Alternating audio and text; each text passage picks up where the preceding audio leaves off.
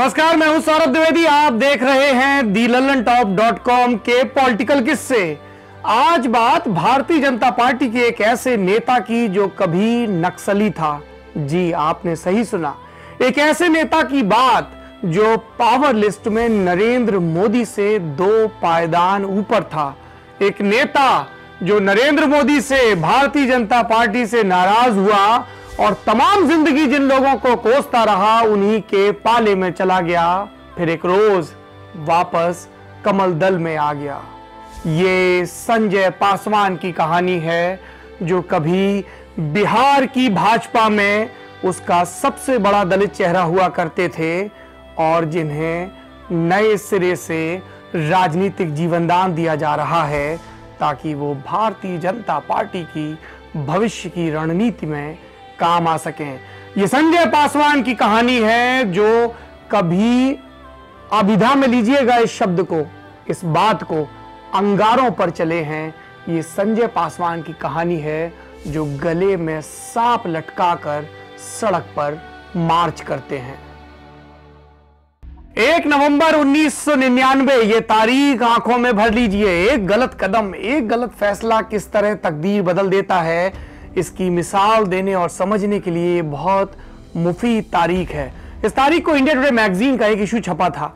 Magazine के अंदर एक रिपोर्ट थी, एक लिस्ट जैसी, जिसकी हेडिंग थी, नई सदी में इन भारतीय नेताओं पर रहेगी नज़र। लिस्ट में सत्रह नेताओं का नाम था। सबसे ऊपर थे चंद्रबाबू नायडू। सबसे नीचे, ये सस्पेंस थोड़ी देर के लिए कायम रखते हैं। थोड़ा सा लिस्ट में ऊपर चलते हैं। पंद्रहवें नंबर पर एक नेता था फ़ोटो थी उसकी, जिसमें वो बिस्तर पर बैठे एक बच्चे के साथ शतरंज खेल रहा है, शायद अपने ही बेटे के साथ। इस नेता की प्रोफ़ाइल के ऊपर लिखा था, दलित होप माने दलितों की उम्मीद। प्रोफ़ाइल में अंदर एक लाइन लिखी थी, जिस पर हमारा ध्यान गया रिसर्च करते हुए। पहली बार सांसद बने इस शख्स को शतरंज खेलना पसंद है। इनकी आगे की चालें इन्हें बिहार की राजनीति की अगली पांत में खड़ा करेंगी। बिहार जहाँ जाति की राजनीति पहले कभी इतनी अहम नहीं रही। इस तरह से उनका परिचय खत्म होता है मैगजीन में। इस लिस्ट में ये बिहार से एक लौती एंट्री थी। इनसे ठीक दो पायदान नीचे, लिस्ट के सत्रहवें और आखिरी नाम भी इन्हीं की पार्टी के एक नेताजी के नाम थे, उनका नाम था। 19 साल बाद उस लिस्ट का रिवीजन करते हैं, फिर सस्पेंस खत्म करेंगे। ये 2018 है, लिस्ट को बने 19 साल बीत चुके हैं 18 बोलने वाला था। सत्रवा आदमी, जो उस लिस्ट में आखिरी नाम था, आज देश का सबसे मज़बूत, सबसे ताकतवर नेता है। उसका नाम है नरेंद्र दामोदर दास मोदी। और वो पंद्रमा आदमी, वो अब जाकर बिहार का विधान परिषद का विधायक चुना गया है, सदस्य चुना गया है। 19 साल पहले सांसद था 16 साल पहले केंद्रीय मंत्री था। और अब विधान परिषद की पार्षदी मिली है, यानी कि विधायकी मिली है। क्यों? क्यों पीछे लुड़की गाड़ी? शतरंज का एक प्यादा गलत चल जाए तो वज़ीर मर जाता है। राजनीति भी ऐसी ही चीज़ है। एक गलत दाव, एक गलत टाइमिंग और आदमी पीछे छूट जाता है। हमारी इस खबर के किरदार के साथ शायद ऐसा ही हुआ। क्या हुआ, ये आगे बताएँगे। तीन नाम, तीन वोट बैंक, उनकी ये कहानी है। नाम संजय पासवान, बिहार में बीजेपी के शायद सबसे बड़े दलित नेता। बिहार में विधान परिषद की 11 सीटों के लिए चुनाव था। बीजेपी ने इसके लिए अपने तीन उम्मीदवार मैदान में उतारे। सुशील मोदी, दूसरे स्वास्थ्य मंत्री मंगल पांडे और तीसरे संजय पासवान।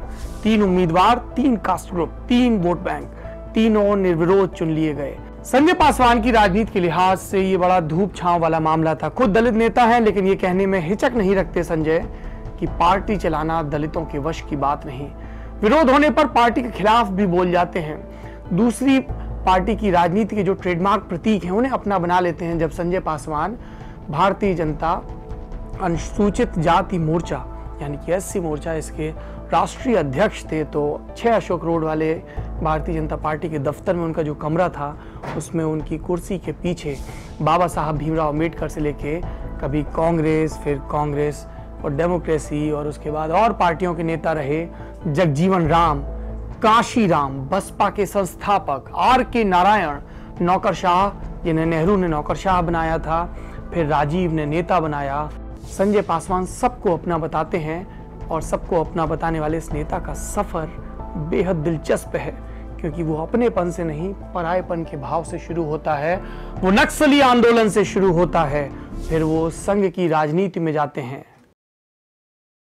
बिहार के नक्शे में उत्तर की तरफ़ देखिए, एक जिला नज़र आता है, दरभंगा। हेडक्वार्टर है लहेरिया सराय। इसी लहेरिया सराय में एक टोला है, नवटोलिया। कभी ये गाँव होता था, मोहल्ला बन गया है। ये मोहल्ला संजय पासवान का स्थायी पता है। यहीं पर 2 मई उन्नीस सौ बासठ को वो पैदा हुए थे, महावीर राम और कृष्णा देवी की गृहस्थी में। माँ बाप ने तय किया, आप बच्चों को खूब पढ़ाएँगे। बाबा साहब भी यही कहा करते थे। और आप सबको भी यही करना चाहिए। बच्चे पढ़ने निकले, खूब पढ़े। उस ज़माने में लहेरिया सराय के अंदर बहुत कम ही इतने पढ़े लिखे दलित परिवार रहे होंगे। अब पढ़ाई लिखाई के बाद उनका छात्र राजनीति का दौर शुरू होता है और अब हमारी एक सब हेडिंग भी आती है, जैसे हम लोग टीजर देते हैं ना खबर में कि नक्सली बना संघी। एक तो बिहार, वो भी 80 के दशक का बिहार। ये दौर बिहार में छात्र राजनीति के लिहाज से बड़ा उर्वर भी था और डेयरिंग भी था। लोगों ने देखा था कि कैसे लालू प्रसाद यादव या सुशील मोदी जैसे छात्र नेता नेता बन गए। कॉलेजों के जवान जहाँ लड़के तब पढ़ते कम थे, राजनीति ज़्यादा करते थे। सौ में से नब्बे तो सिर पर दुनिया बदलने का भूत लादे चलते थे। चलना भी चाहिए, उम्र ऐसी है। बंगाल का पड़ोसी था बिहार। नक्सल आंदोलन खूब बड़ा था। आपको हज़ार चौरासी की माँ याद है? गोविंद नहलानी की फ़िल्म, या फिर सुधीर मिश्रा की हज़ारों ख्वाहिशें ऐसी? और इससे पहले कि आप मुझे कहें कि सिर्फ़ गोविंद नहलानी की फ़िल्म नहीं है, वो महाश्वेता देवी का नॉवल है। हमें भी पता है। ज़रूर पढ़िएगा, छोटा सा है, कमाल का है।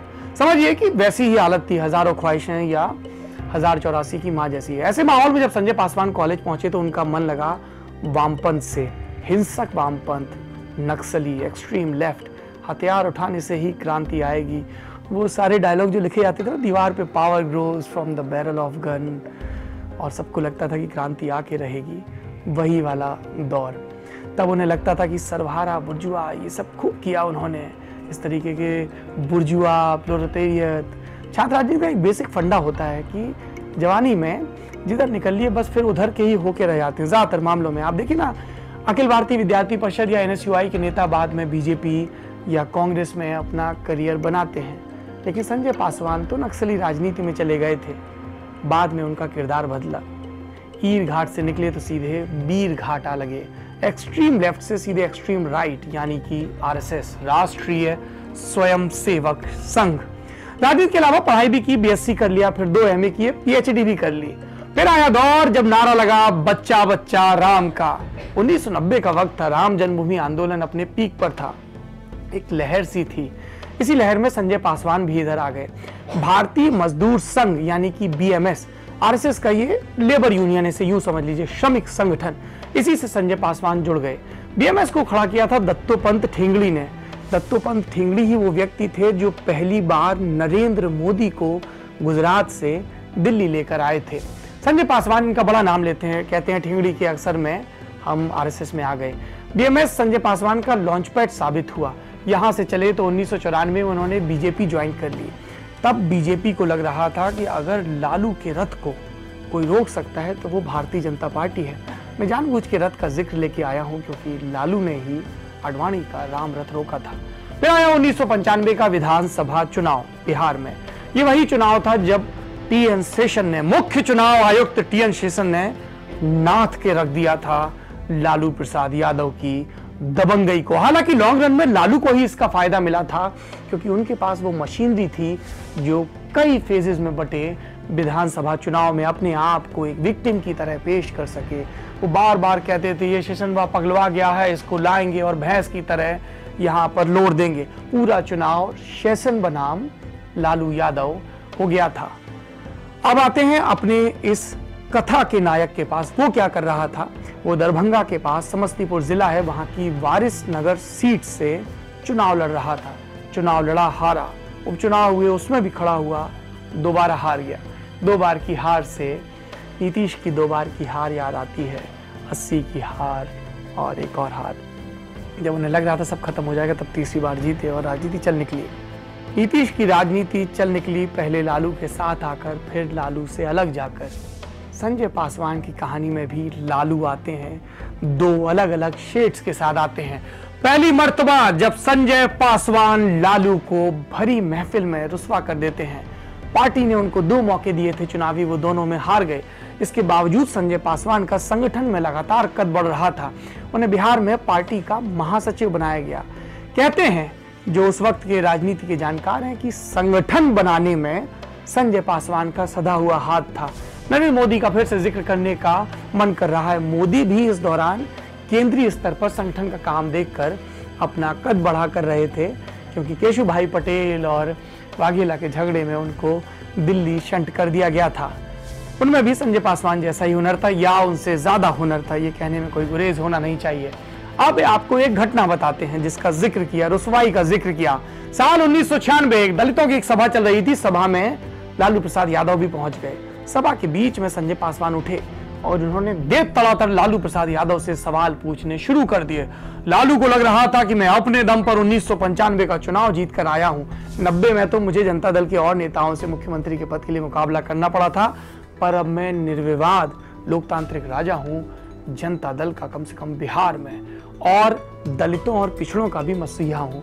ऐसे में कोई दलितों की सभा में यूँ कैसे मुझे रुसवा कर सकता है?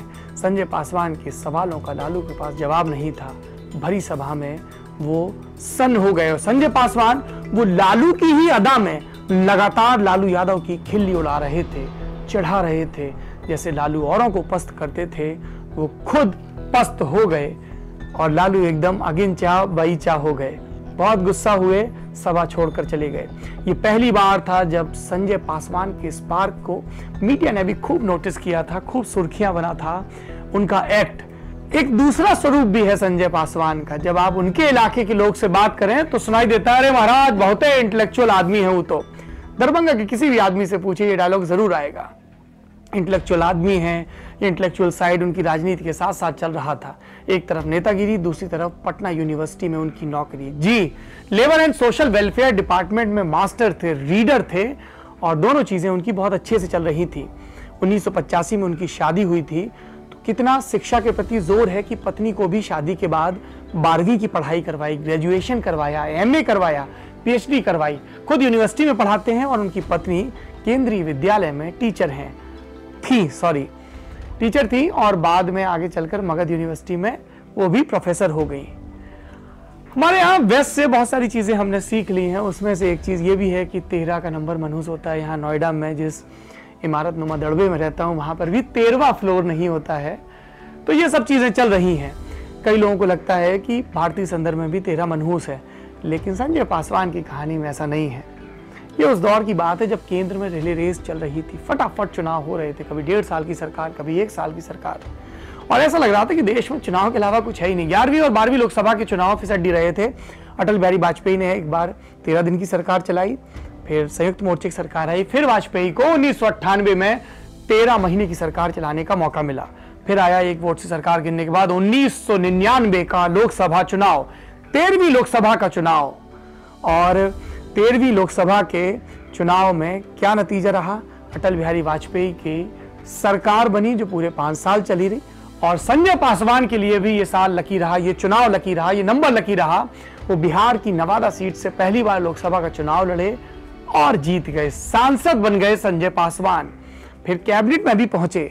उनके साथ सब कुछ अच्छा अच्छा हो रहा था। पार्टी ने पहले उनको राष्ट्रीय महासचिव बनाया, फिर ओडिशा जिसको तब उड़ीसा कहते थे, और अरुणाचल प्रदेश का प्रभारी बना दिया, और 2002 में मतलब चुनाव से, अगले चुनाव से दो बरस पहले, संजय पासवान को केंद्रीय कैबिनेट में जगह मिली। उन्हें सूचना, प्रौद्योगिकी और संचार का राज्य मंत्री बनाया गया। इसके अलावा उन्हें मुरली मनोहर जोशी का भी जूनियर मिनिस्टर बनाया गया।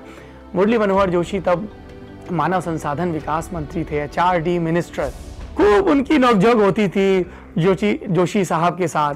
लोग कहते थे, एक तरफ़ एक दलित नेता है और एक तरफ़ एक ब्राह्मण है और एक सांप की कहानी सुनाते थे। साल 2003 की ये बात है, अखबारों में संजय पासवान की तस्वीर छपी। गले में दो मोटे मोटे गेहूँ सांप। संजय पासवान दरभंगिया है ना? दरभंगा में सांपों की भी जाति होती है। जो गेहूँ होते हैं, उसके ऊपर एक धारी सी होती है। लोग कहते हैं, ये उसका जनेऊ है, ये जो गेहूँ है, उसको ब्राह्मण मानते हैं उधर। एकदम जान पे न बन जाए तब तक। ऐसी होती हैं मान्यताएँ। मुझे खुशवंत सिंह की कहानी, मार्को विष्णु भी याद आ रही है। आपको ये किस्सा सुनाते सुनाते। खैर, खबर आई कि गले में गेहूँ डाले नाचते दिखे हैं संजय पासवान। इतना ही नंगी इतना ही नहीं, नंगे पाँव वो आग पर भी चले, जो अंगारे थे, जो शोले थे, उस पर चले और उनके इर्द गिर्द दो सौ लोगों का मजमा लगा हुआ था। आग पे चलने के बाद उन्होंने अपना तलवा दिखाया, बोले, देखो, नहीं जलाना। ये विश्वास की ताकत है। ये वाक्य यूँ घटा कि संजय पासवान ने कई सारे ओझा गुनियों को बुलाया था। संजय पासवान का परंपरा में आधुनिकता लाने का नज़रिया था, ख्याल था। कहते थे कि ओझागुनी जो कर रहे हैं, वो भारत की प्राचीन संस्कृति है, उसका हिस्सा है, एक किस्म की विद्या है, इसको बढ़ावा दिया जाना चाहिए। वो अलग ही दौर था, विश्वविद्यालयों में ज्योतिषी पढ़ाया जा रहा था। करीबन इक्यावन ओझागुनियों को उन्होंने बुलाया, फिर इनाम इकराम भी दिया, और इसमें सब तरह की ओझागुनियाँ थे। कोई चलने वाले, कोई बाल खोल कर जो गोल गोल सिर भाजते हैं, वो भी वो भी जो पीठ पे पका केला चिपका कर कुत्ते के काटने का इलाज करते हैं। हमारे गाँव की तरफ़ भी एक थे, वो सांप के काटे का ऐसे इलाज करते थे। राम जाने कैसे। कहीं कहीं पे तो पीठ पे थाली भी चिपकाते हैं कि जहर चढ़ा है कि नहीं। थाली चिपक गई मतलब जहर चढ़ा है गिर गई मतलब नहीं चढ़ा है थाली गिरे या चिपके, उस आदमी को रात भर चिकोटी काट काट कर जगाए भी रखना होता है। तो ऐसे सारे लोग थे जो जुटे थे और केंद्रीय मंत्री इनको इनाम दे रहे थे, पर उनका सिर्फ़ इतना परिचय नहीं है। आपको वो नारा याद है? टीवी पर बार बार आता था, रोके से ना रुके हम, स्कूल चले हम। जब ये खबर आई ओझा गुनियों वाली तो बड़ा हंगामा हुआ। लोगों ने कहा कि बताइए, एचआरडी का जूनियर मंत्री ये सब तमाशा कर रहा है। लोगों ने कहा कि बताओ, अब स्कूलों, कॉलेजों में भी ओझा गुनियों को पढ़ाने लगो। बच्चों को तांत्रिक बनाओ। कई लोगों ने यह भी कहा कि एचआरडी मिनिस्ट्री में जूनियर और सीनियर की राम मिलाए, जोड़ी हो गई है। इन लोगों का इस तरह की चीज़ों पर बड़ा भरोसा है। लालू यादव ने तो संजय पासवान का इस्तीफा मांग लिया। बोले, अंधविश्वास फैलाना अपराध है और तुम जूनियर शिक्षा मंत्री होकर ये सब काम कर रहे हो। इस दौर का ये सबसे बड़ा ज़िक्र हो सकता है, लेकिन एक ज़िक्र आना चाहिए सर्व शिक्षा अभियान का भी, जिसमें संजय पासवान का काफ़ी हाथ था। तभी ये नारा आया था, रोके से ना रुके हम, स्कूल चले हम। स्कूल चले, आगे बढ़े, शिक्षित हो। शिक्षित हो और लोकतंत्र को मज़बूत करें। लोकतंत्र की मजबूती, जिसका एक पड़ाव होता है चुनाव। 2004 में चुनाव आया। भारतीय जनता पार्टी को लगा कि अब वो रुकेगी नहीं। इंडिया शाइनिंग का नारा दिया गया, लेकिन पार्टी हार गई। सबको लग रहा था बड़ी आसानी से जीत जाएँगे, पर लगने और होने में फ़र्क होता है। संजय पासवान भी हार गए, नवादा से। बीजेपी के कई नेताओं में सुखबगाहट थी कि इस हार की वजह क्या बताई जाए। कई लोगों ने कहा कि गुजरात दंगा, इस बात की वजह है, सुप्रीम कोर्ट भी टीका टिप्पणी कर रहा था गुजरात की सरकार पर। उसी दौर में संजय पासवान ने बीजेपी छोड़ दी, बयान दिया। बोले, बीजेपी ने दलितों और अल्पसंख्यकों की बेजती की है। ऐसा लग रहा था कि उनको नरेंद्र मोदी से भी दिक्कत है। उन्होंने कहा भी, अटल बिहारी वाजपेयी और शहनवाज हुसैन गुजरात के मुख्यमंत्री नरेंद्र मोदी के खिलाफ थे। ये संजय पासवान का बयान है। पार्टी के कई बड़े नेताओं ने भी माना कि गुजरात दंगों की वजह से हम चुनाव में हारे, लेकिन इस तथाकथित पार्टी अनुशासन की वजह से नेताओं ने इस मामले में कुछ किया नहीं। इतना क्या कि संजय पासवान चुप हो गए और आगे की राह तलाशने लगे लालू प्रसाद यादव ये सब देख रहे थे, वो नए सिरे से मज़बूत हुए थे। केंद्र में वो आ गए थे, प्रदेश में अभी उनकी पत्नी राबड़ी देवी की सरकार चल रही थी।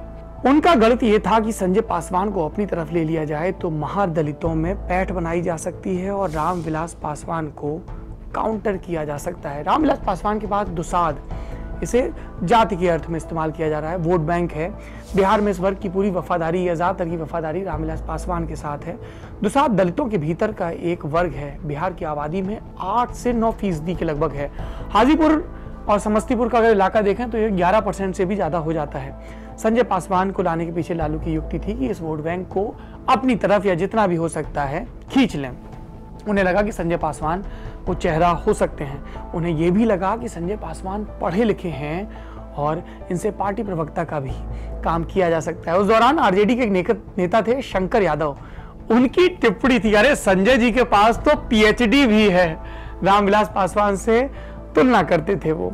संजय पासवान को लगा कि लालू के साथ जाने से उनका पॉलिटिकल रिवाइवल होगा। प्रोफेसर साहब धोखा खा गए। इस बार उन्होंने वक्त को गलत पढ़ा।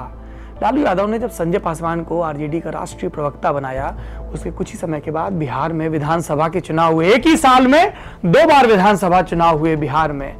जब पहली बार चुनाव हुए तो किसी को स्पष्ट बहुमत नहीं मिला। किसी को लगा संजय का वक्त खराब है, किसी को लगा लालू का। दोनों की कैलकुलेशन गड़बड़ थी। एलजेपी रट लगाए रही किसी दलित को या मुस, किसी मुस्लिम को बनाओ मुख्यमंत्री दलित को आगे करो ये वो और विधानसभा भंग हो गई। उधर जेडीयू और बीजेपी की यारी मज़बूत हो गई थी और वो अपनी दम पर सत्ता में आने की तैयारी कर रहे थे। लोगों को लगता था कि लालू यादव कभी बिहार से नहीं हट सकते। लालू यादव कभी बिहार की सत्ता से पदच्युत नहीं हो सकते। कहा भी जाता था जब तक रहेगा समोसे में आलू तब तक रहेगा बिहार में लालू। लेकिन 2005 में हुए दूसरे चुनाव ने इस कहावत को झूठा कर दिया। संजय पासवान को भी टिकट मिला वारिस नगर सीट से, जहाँ से वो दो बार हारे थे अपने करियर के शुरुआती दौर में। उनके मुकाबले रामविलास पासवान ने लोक जनशक्ति पार्टी यानी कि एलजेपी से खड़ा किया माहेश्वर हजारी को। हजारी को अड़तीस हज़ार एक सौ सैतालीस वोट मिले और संजय पासवान को बत्तीस हज़ार तीन सौ अट्ठारह वोट। तीसरी हार विधानसभा में लोकसभा की नहीं जोड़ी है। पाँच हज़ार आठ सौ उनतीस वोटों से हार गए संजय पासवान। ये नीतीश कुमार का चुनाव था। ये जेडीयू और बीजेपी के सत्ता में आने का चुनाव था। संजय पासवान को अफसोस तो खूब हुआ होगा कि वो ऐसे वक्त में बीजेपी छोड़कर किसी और के जहाज़ में सवार हो गए। वो लालू यादव के जहाज़ पे तब सवार हुए जब उसकी पाल को चूहे कुतर चुके थे और दीमक उसका पेंदा चाट चुका था। बिहार में बीजेपी इतनी मज़बूत पहले कभी नहीं थी। अगर संजय पासवान बीजेपी में होते तो हो सकता है कि वो सुशील मोदी की जगह लेते। ये भी हो सकता है कि उनसे आगे निकल जाते। शतरंज के खिलाड़ी से राजनीति की बाजी समझने में बड़ी चूक हो गई। फ़सल लगाने में मेहनत की, लेकिन बखारी में भरने का टाइम आया तो बाहर चले गए। मगर फिर भी ये बात तो है कि अगर शतरंज और राजनीति का इतना सच में कोई रिश्ता होता तो हो सकता है कि विश्वनाथ आनंद जो शतरंज की चालों के माहिर हैं कब के प्रधानमंत्री बन गए होते। बहरहाल, संजय पासवान आरजेडी में ज़्यादा दिन टिके नहीं। चुनाव तो हारी गए थे, हांडी फूट गई तो चूल्हे को सलाम करके निकल गए, कांग्रेस में गए। फिर 2007 में छठ के बाद एलजेपी ज्वाइन कर ली। पत्रकारों ने पूछा, क्यों जा रहे हैं? बोले, राम विलास पासवान के नेतृत्व में दलित राजनीति को नई ऊंचाई पर ले जाना चाहता हूँ। फिर हो गई घर वापसी। आपने वो माइग्रेटरी बर्ड्स देखी एक खास मौसम में आती हैं, फिर चली जाती हैं। अपने घर से हज़ारों मील दूर जाती हैं, लेकिन एक तय समय पर वापस लौट आती हैं। संजय पासवान भी अगस्त 2008 में वापस भारतीय जनता पार्टी में आ गए। कलराज मिश्र याद है? कभी उत्तर प्रदेश में बीजेपी का ब्राह्मण चेहरा हुआ करते थे, तब बिहार में पार्टी के राजनीतिक मामलों के प्रभारी थे। राधा मोहन सिंह, जो इस वक्त मोदी की सरकार में मंत्री हैं, तब प्रदेश अध्यक्ष हुआ करते थे। रविशंकर प्रसाद और कई नेता थे जिनकी मौजूदगी में संजय ने घर वापसी की। कलराज मिश्र ने कहा भी, ये तो घर लौटे हमारे अपने थे, बीच में कोई गलत फहमियाँ हो गई। लेकिन गलत फहमियों को दूर करना इतना आसान भी नहीं था। वो पार्टी में वापस आ गए, लेकिन कई लोगों को संदेह रहा। फिर धीमे धीमे उन्हें वापस से पुश मिलना शुरू हुआ। और ऐसे दौर में जब उन्हें लगा कि पार्टी में संगठन में उनका ज़्यादा उपयोग नहीं किया जा रहा तो वो यूनिवर्सिटी की राजनीति में यूनिवर्सिटी में ज़्यादा एक्टिव हो गए पढ़ाने, लिखाने में लगने लगे सेमिनार करने लगे, किताबें लिखने लगे। ढेर सारी किताबें लिखी हैं संजय पासवान ने। एक दलित इंसाइक्लोपीडिया तो बड़ा मशहूर है। इन्हें एक्सप्रेस समेत कई अखबारों में कॉलम भी लिखते हैं। 2013 में राजनाथ सिंह के दौर में उनकी ठीक तरीके से वापसी हुई, यानी कि उनको एक बड़ा पद दिया गया। उन्हें अनुसूचित जाति मोर्चे का राष्ट्रीय अध्यक्ष बनाया गया। 2015 में उन्हें पार्टी की राष्ट्रीय कार्यकारिणी में भी जगह मिली। बहुत इच्छुक थे संजय पासवान की उन्हें 2014 के लोकसभा चुनाव में टिकट मिले। लेकिन नरेंद्र मोदी चीज़ें इतनी आसानी से नहीं भूलते हैं। और संजय पासवान, वो अभी भी अपने ही हिसाब से चलने की कोशिश करते हैं। लोग कहते हैं कि वो आज भी मन की कहते हैं, मन की करते हैं। कई बार पार्टी आम बोलती है तो ये इमली इमली बोल देते हैं। जैसे रोहित वेमुला का मसला। स्मृति ईरानी संसद में क्या परफॉर्मेंस दी थी, कितना उत्तेजित हुई थी तब संजय पासवान ने कहा था कि क्या हमारी पार्टी और क्या बाकी पार्टियाँ सब गलती कर रही हैं। फिर एक बार किसी रिपोर्टर ने गोरक्षकों के बारे में सवाल किया तो बोले कि सारे गोरक्षक जो सड़कों पर गुंडई कर रहे हैं, ये देशद्रोही हैं और उनको फांसी पे चढ़ा देना चाहिए। उनका बयान था, मोदी जी प्रधानमंत्री हैं, देश चलाते हैं। उनको भी सामने आकर गोरक्षकों पर बयान देना पड़ता है। सोचिए, वो भी कितने मजबूर हैं। उनकी भी नहीं सुनी जा रही है। एक बात और कही उन्होंने बोले, दलतों के घर जाकर खाने से दलतों का भला नहीं होने वाला। फिर एक बार अमित शाह और मोहन भागवत के खिलाफ भी बोल दिए। वो दलतों के घर जाकर खाना खाने वाली बात पर कहा, इन सबसे कुछ नहीं होगा, ऐसी सांकेतिक चीज़ों से कुछ हासिल नहीं होने वाला है। वक्त आ गया है कि सवर्ण दलितों को अपने घर बुलाएँ, वहाँ उनके साथ खाना खाएँ, दलित का जूठा अपने घर पर गिराएँ।